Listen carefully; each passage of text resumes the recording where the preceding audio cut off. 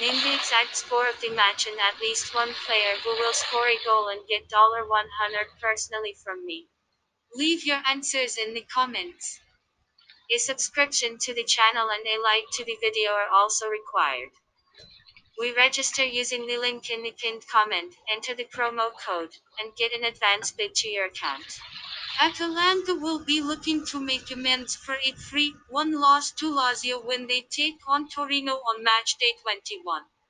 The Orobici aim to keep their Champions League hopes alive, and we are positive that they will go all guns blazing at Lino's Toro. Papu Gomez is no longer an Atalanta player as he joined Sevilla in the January transfer window, but boss Gian Piero Gasperini still has a number of top-class players to choose from. Both Romero and Sutalo are sidelined with injuries, while Hateboer is a major doubt. Torino, on the other hand, shared the spoils with the likes of Spezia, Benevento, and Fiorentina in the previous three league fixtures. Lino's Toro, though, are not regarded as good travelers, and we do not believe that they are capable of spoiling Atalanta as party in Bergamo. Both Sanabria and Vojvoda remain in the recovery room, while Izzo is a major doubt.